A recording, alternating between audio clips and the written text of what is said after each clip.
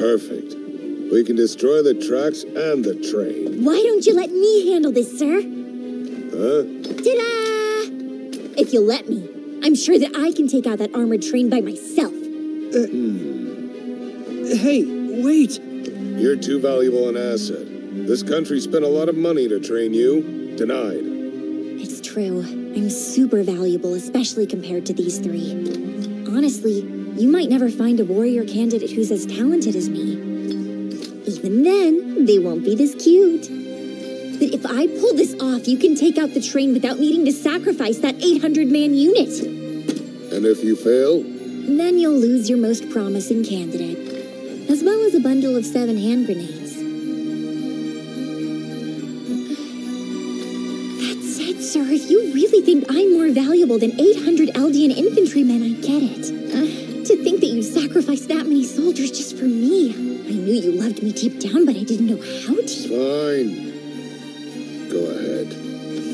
No. Gabi. Mark my words. I'll destroy that train and prove no warrior candidate deserves to inherit the armor more than me. What are you doing? My plan won't work if I'm in uniform, sir. With your permission, I'd like to remove my armband as well. Granted.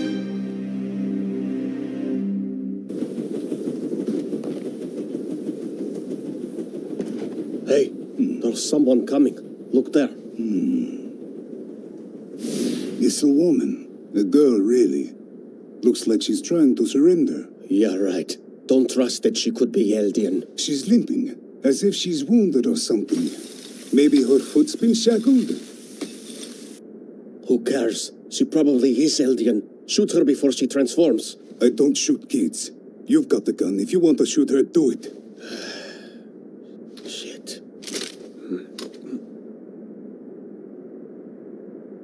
No. What the?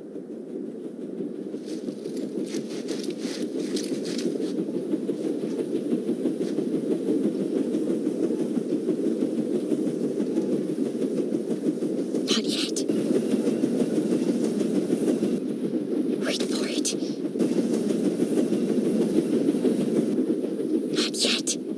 She's just lying there. Who cares? Shoot her! Here goes nothing! Oh!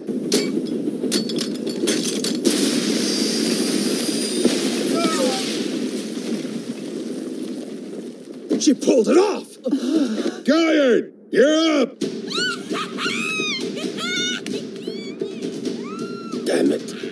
You cowardly bastards. This